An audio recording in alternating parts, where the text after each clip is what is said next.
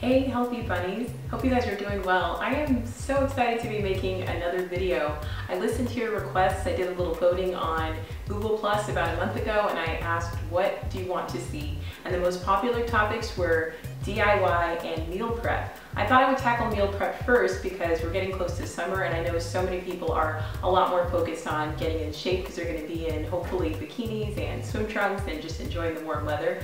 So that's what I'll be doing. Some tips on meal prepping. Definitely want to get some good meal prep containers. That's super helpful because you'll probably be making enough meals for um, half of the week or the whole week. You definitely want to portion it out into containers. That's part of the benefit of meal prepping is that it helps with portion control. So speaking to that, the next thing you might need is a food scale. I have one that was only about $14 on Amazon, really inexpensive, and it's super helpful for measuring out some of those higher calorie, higher carb things like maybe if you're having quinoa or rice or pasta, that's something you want to measure out versus if you're making like a veggie, like a butternut squash or broccoli or asparagus, uh, the measurements are not as important. Another one that's important is measuring your protein. So typically about three ounces per meal is pretty beneficial. Another thing you want to keep in mind with your meal prepping is that um, you definitely want to make sure the food has cooled down completely before you put it into containers. Otherwise it'll steam up uh, the container and actually cause the food to spoil a little faster. So let everything come to room temperature before putting it into the fridge. I usually um, just put everything in kind of a row and I'll put the lid kind of halfway off and let it ventilate on its own. And while I'm cleaning up the kitchen and such, the food is cooling down and by the time I'm done cleaning the kitchen, it's ready to go into the fridge.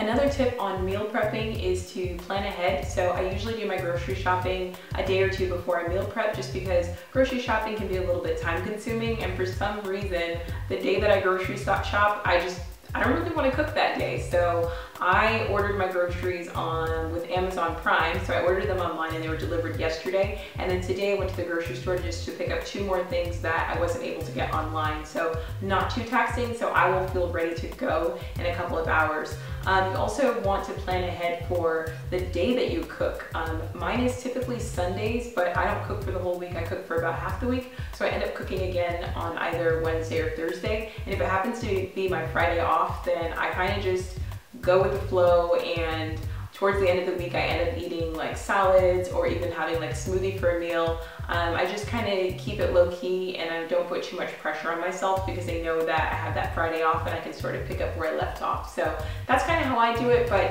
it may be different for you if you have a spouse or if you have a family or if you're meal prepping with a roommate, then you might need a little bit more structure if there's someone else depending on you for meals. Another tip for meal prepping is to get some recipes, some new recipes, because I know for me, sometimes uh, maybe just being a food blogger, um, I kind of have some favorite recipes that I sort of default to, but it's really good to just go online and search out some newer recipes so that you have something to be excited about. For me, I never have a problem prepping the meals, but sometimes I have a problem eating them. So getting a new and exciting and yummy recipe that I'm excited to eat makes me more likely to go in the fridge when it's lunchtime at work and actually eat instead of saying, you know what, I don't really want to eat that. I think I'll eat out because then I'm kind of wasting money and at that point I'm also probably going to um, be having a higher calorie, higher fat meal too depending on where it is I choose to go out to eat. So make something that you can be excited about. Okay, now here's some tips if the meal you make doesn't come out the way you really want it to. I know we've all had this happen. I, you know, cook for, for part, you know, for a living, but yet I sometimes still mess up. So there are three things that I use that really step my meals up. First one is sriracha. Can't go wrong with hot sauce. I, especially if it's a stir fry and it came out kind of bland. Um, the next one is Bragg's Aminos, which is basically a substitute for soy sauce, but it's gluten-free, a little bit healthier and organic. Um, putting that on like veggies or protein or whatever gives it a lot more flavor, adds some saltiness to it. The last one is avocado. You cannot go wrong adding avocado and it can even go on some things that you wouldn't even expect, even like a baked potato. Um, it definitely goes great on salads. It goes great on a lot of different things for breakfast. So I always have some avocado on hand just to like make my meal more exciting and more flavorful. And if you're not super duper into avocado, a tip for that is to add a little bit of sea salt, lemon or lime juice, And if you want to go up even more of a notch, you want to go with some smoked paprika. So those three things are like my fail safes for when my meals don't come out well, but at the same time, I don't want to be wasteful and like throw it away.